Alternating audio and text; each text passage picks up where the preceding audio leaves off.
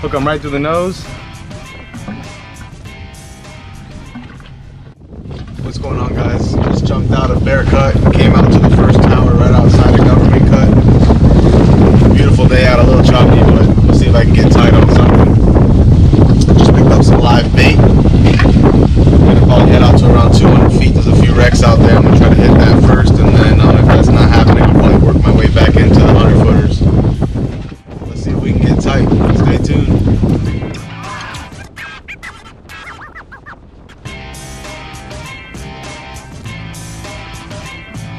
up guys? Just got out here to about 200 feet. Uh, My drift started around 180, so I just dropped down like 20 ounces of lead on a live uh, ballyhoo.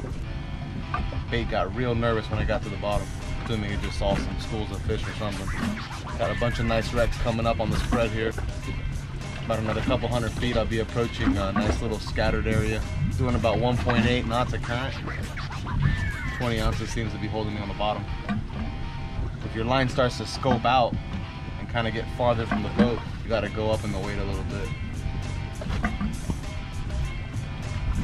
Want to fish with the least amount of weight as possible. That way you can just feel the bite better, be a little bit more incognito when you're down there, less clunking around.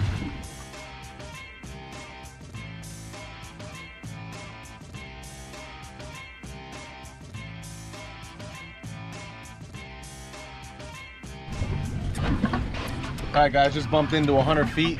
I was out at 200 before, did a couple drifts, uh, didn't get hit on anything, but the current picked up to like three knots. So whenever that happens, it's kind of difficult to fish unless you're gonna fish like 32 ounces of lead, which is just crazy to me.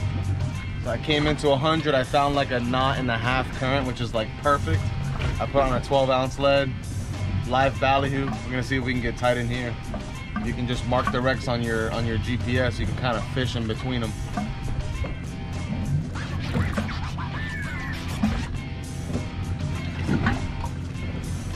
Let's go. Just got tight. I let him eat for a second. Feels like a decent fish.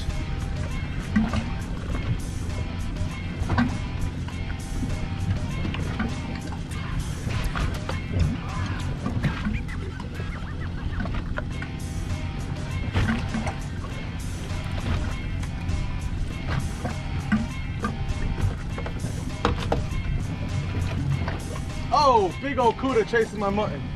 Holy shit. See what happens when you don't act fast.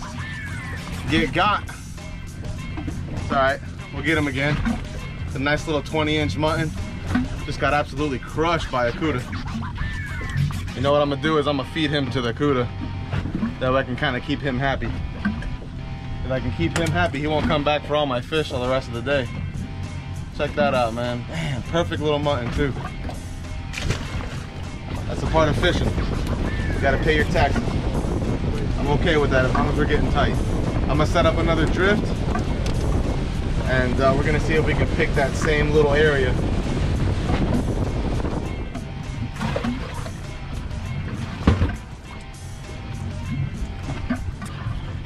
Don't be lazy. Every time you bring up a fish, if that hook was in his mouth, chuck that tip of that line.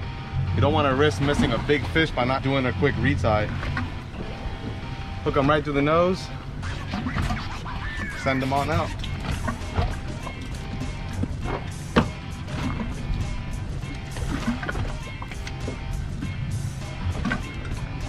We're still in about 72 feet of water. Go ahead and send this bait down, finish off this drift, and then we'll reset. I have a feeling we're gonna get hit right when we get down here. I marked a bunch of stuff on the way back to the drift spot. Looking at my sonar now, I got some pretty decent activity. Got about two more wrecks coming up. I think we're gonna go right in between them, which is like the perfect condition.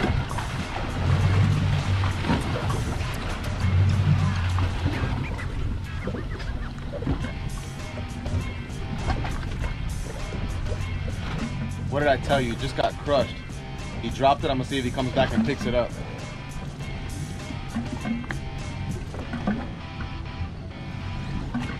Oh yeah, that's a good one. Just got eaten up by a cuda. So I did a quick reset to try to hit the same area. And sure enough, it worked out awesome. Just got crushed. I'm just gonna try to beat this cuda to the boat. I know he's still around, even though I fed him a whole 20 inch mutton, I let him keep it.